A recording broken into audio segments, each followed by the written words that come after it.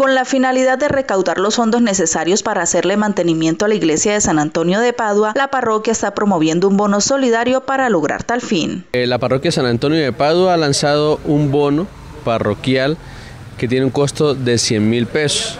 Este bono eh, le permite pagar a las personas que lo, lo adquieran mensualmente con solo 15 mil pesos, porque este bono va hasta el mes de septiembre lo que quiere decir que usted prácticamente diariamente puede reunir 500 pesos para pagar el mes y además la mensualidad que son 15 mil le va a permitir participar mensualmente de ganarse 200 mil pesos.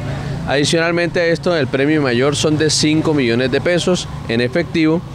Eh, existe también un primer eh, seco, que es un osario que está valorado en 1.100.000 de nuestra parroquia y un segundo seco que es 500 mil pesos. Así que la invitación es para que las personas de Ocaña nos colaboren.